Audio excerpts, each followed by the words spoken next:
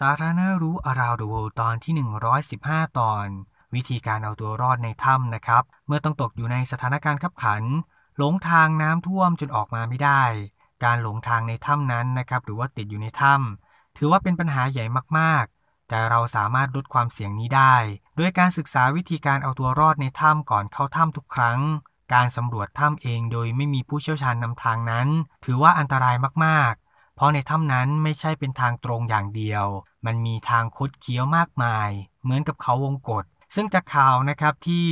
นักฟุตบอลเยาวชนนะครับแล้วก็ครูผู้ฝึกสอนที่มูป่าอะคาเดมี่หลงทางแล้วก็ติดอยู่ในถ้ำหลวงขุนน้ำนางนอนทำให้ผู้คนให้ความสนใจ แล้วก็ศึกษาหาความรู้เกี่ยวกับการสำรวจถ้ำกันมากขึ้น และวิธีที่จะเอาตัวรอดในถ้ำเมื่อต้องตกอยู่ในสถานการณ์ขับขัน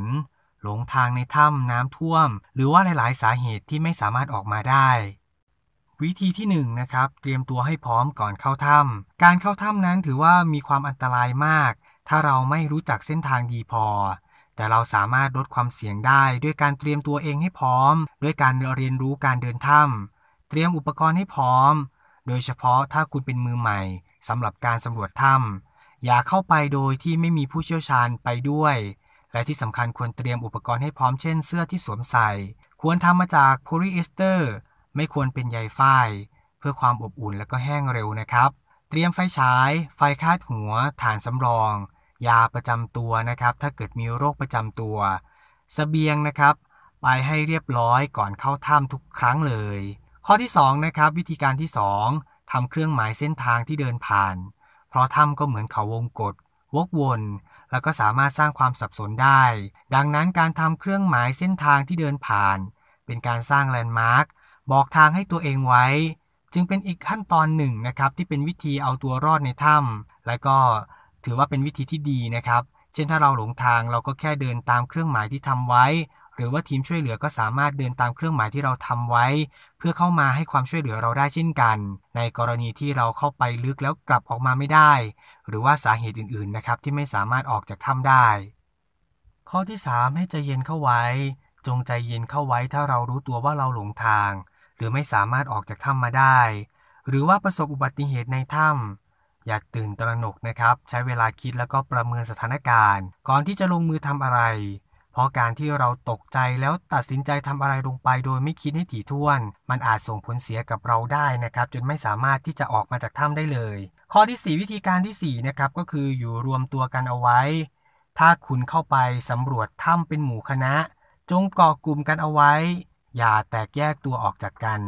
จับมือกันเอาไว้เวลาเดิน ถ้าต้องเดินในความมืดไปไหนมาไหนด้วยกัน เป็นทีมเวิร์กนะครับ แล้วก็อย่าปล่อยให้ใครหลุดมือ หรือทิ้งเพื่อนๆไว้ข้างหลัง เพราะคนที่ถูกทิ้งไว้ก็จะเกิดอันตรายนะครับ วิธีการที่ 5 ข้อที่ 5ทำตัวให้แห้งและก็อบอุ่นเข้าไว้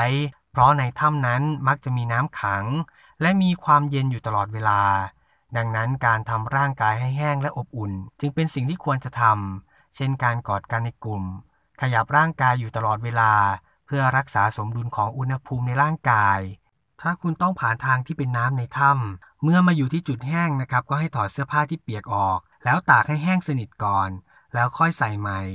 หรือว่าเปลี่ยนใส่ชุดที่แห้งที่เตรียมมานะครับ ข้อที่ 6 จัดสรรเสบียงของคุณให้ดี เพราะเราไม่รู้ว่าเราจะติดอยู่ในถ้ำเป็นระยะเวลานานแค่ไหน ดังนั้นการจัดสรรนะครับปันส่วนสเสบียงที่มีให้ดี ก็เป็นอีกหนึ่งวิธีการเอาตัวรอดในถ้ำเหมือนกัน เพราะถ้าใช้สเสบียงหมดในวันแรก วันถัดมาก็อาจเกิดปัญหาได้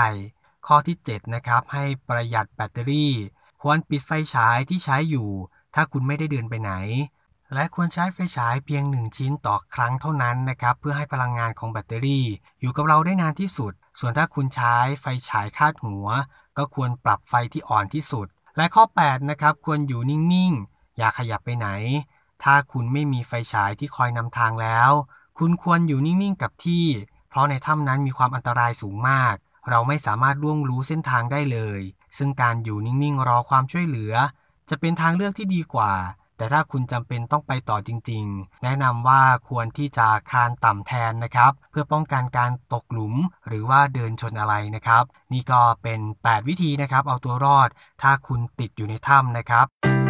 Audio Jungle